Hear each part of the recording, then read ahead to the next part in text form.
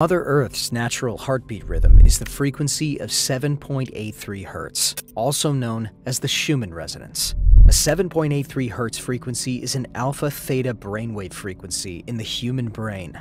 Alpha theta brainwave frequency is a relaxed, dreamy, sleepy state. That's also when cell regeneration and healing happen. It's been proven by scientific experiments that by tuning into 7.83 Hz, the planet's own magnetic frequency, people experience benefits like enhanced learning, memory, body rejuvenation, balance, improved stress tolerance, anti jet lag, anti mind control, and grounding. On the other hand, experiments were done where Schumann resonance, the exposure of 7.83 Hz frequency, was removed from the individual's environment. The subjects reported migraine headaches, emotional distress, and other health problems. This shows how important it is to be in tune with the Earth's magnetic frequency.